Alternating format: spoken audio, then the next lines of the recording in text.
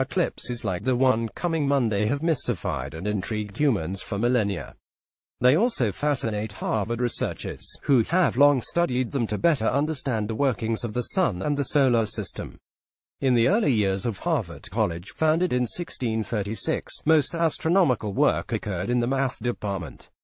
That changed in 1839, when William Cranch Bond was hired as the astronomical observer to the university. His arrival led to founding the Harvard College Observatory, which might not have happened if not for an eclipse. John Adams Whipple created a daguerreotype of the partial eclipse of 1851 at the observatory in Cambridge. Stephanie Mitchell Harvard staff photographer Bond viewed his first solar eclipse when he was 17 years old, and the experience jump-started his interest in astronomy. Since its inception, the observatory has dispatched expeditions into the path of total solar eclipses to study the Sun's corona and the inner solar system.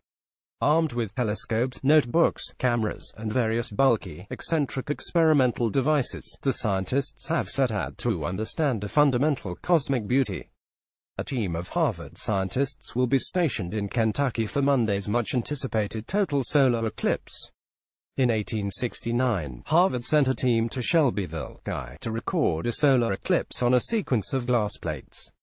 Stephanie Mitchell Harvard staff photographer The first solar eclipse expedition was to Lillard, Sweden, in 1851. George Phillips Bond, son of William Cranch Bond and the observatory's second director, was nearly clouded out.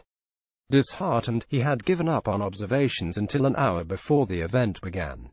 The clouds broke just in time, and Bond witnessed majesty. He sketched two diagrams of totality, coloring the rosy prominences that entranced him.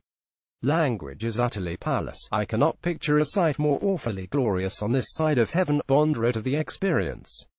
Not pleased with how flat the corona looked in photographs, William Pickering sketched how he envisioned the 1869 Shelbyville eclipse coming down on the plate as he prepared for an 1886 eclipse expedition to Grenada. Stephanie Mitchell Harvard staff photographer These were rudimentary years for science. Bond had traveled to the site alone, and had borrowed his only telescope from a local observatory. But as the physical sciences grew in sophistication and researchers came to appreciate the potential of photography as a recording tool, scientists launched expeditions more often and with more complexity, taking with them cameras and scientific instruments. The partial eclipse of 1851 was recorded at the observatory in Cambridge by daguerreotypist John Adams Whipple. Such early photography was not a simple process. The participating astronomers and photographers all had jobs in the process whether watching the boundaries of the sun for moments of contact, calling out the time, preparing photographic mirrors, exposing them to the image or speeding them off for developing. A glass plate image of totality of the 1889 eclipse in Willows, Calif.